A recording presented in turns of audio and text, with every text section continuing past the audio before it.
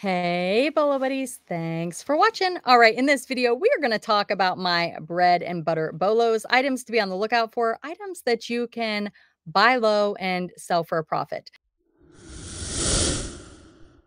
Now, these are items that I sold for $35 or less. So these are not like my big money bolos. I've got lots of videos on big money bolos that other people have sold.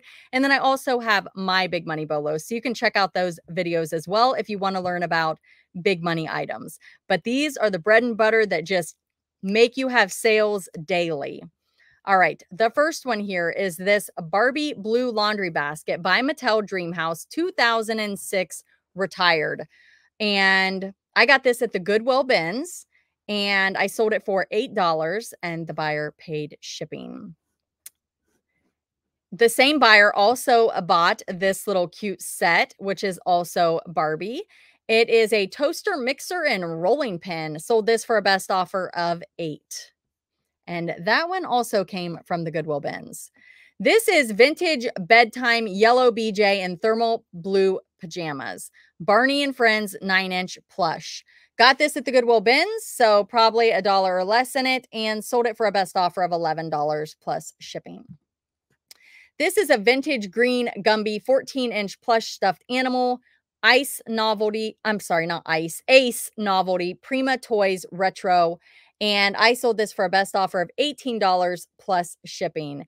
And this I believe came from a viewer of the channel who has purchased from me before. So thank you for your purchase. She also bought the Barbie items and uh, repeat customer, definitely. So usually that means probably somebody who is a viewer of the channel. Now, this one right here came from Terry Mindful Recycle. Um, check her out on YouTube and on eBay. She is absolutely incredible. I will link her down below. She's one of the biggest bolo finders that I know. I mean, she sources amazing stuff and she is incredible. So check out her what sold videos if you really want to learn about some big money bolos. And I will link her down in the description. And Mindful Recycle, Terry, she sent me a box. I call it a box of bolos as a gift. And I did an unboxing on that as well if you want to see the other items she sent me. Super, super fun box. And that was one of the items in it. This is a vintage, vintage Barbie icebreaker suit skirt with jacket. And I don't remember where I got this, but I sold it for a best offer of 10 and free shipping on that one because it was the same buyer as the others. So I just included it in her bundle with free shipping. Gemmy Big Mouth Billy Bass singing fish. I got this at the Goodwill bins. Kind of heavy, so probably had five or six bucks in it. I knew that it was a bolo, but the head did not flip forward correctly. So I put a video and sold it for $24.80 plus shipping. So still made a profit, but not as much as I would have. This is a little vintage hard plastic toothpick holder, Christmas bunny rabbit, Santa's favorites. Got this um, in a mystery box, a thrift store mystery box, which I have not gotten for a long time. Sold it for $13 and the buyer paid shipping. This one right here is a Tornado Zorro horse loose action figure from 1997. And I got it at the Goodwill bins. It was kind of heavy, so probably a couple bucks in it. Sold, I'm not super heavy, but probably had a couple bucks in it at the bins. Sold it for 13 plus shipping. And it was not in perfect condition but it still sold. You can see like some little marks and stuff like that on it. This one here is a vintage ja, ja, Jaworski, the butterfly trick shot rack. Works with all pool tables, it says. It's vintage. It is cool. Got this at the Goodwill bins and I sold it for $26 plus shipping. Is a Smurf. It's a vintage. Oh, I spelled vintage with two eyes. Good for me. It's a vintage Christmas Peyo Schleich uh, Portugal Papa Smurf ornament from 1981. And I got this at a garage sale for 50 cents, sold it for 13, and the buyer was all in for 1860 on that little guy. These right here are vintage plastic angel dolls. Now, these were listed for quite a while. Uh, December of 2022 and sold them in November of 2023. So about a year.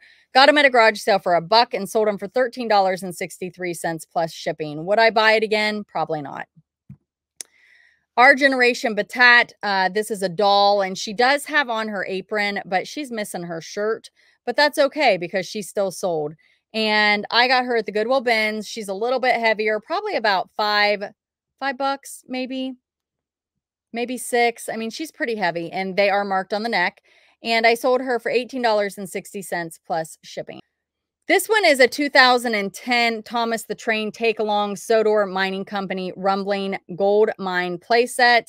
And I got this for, I can't remember where I got this, but I think I probably sold the trains separately. It may have been a thrift store mystery box.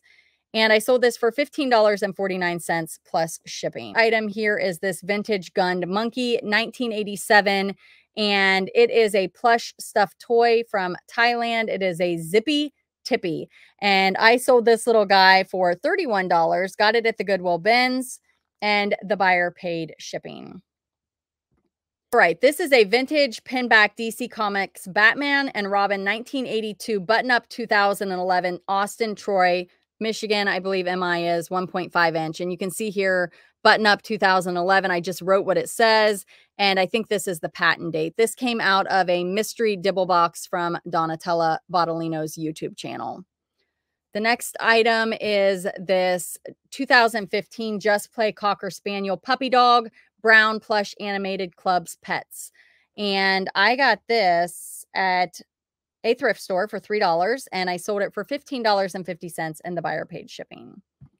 The next item is this Avon eyeliner glimmer sticks from 2005. It is vintage and it did not have an expiration date on it.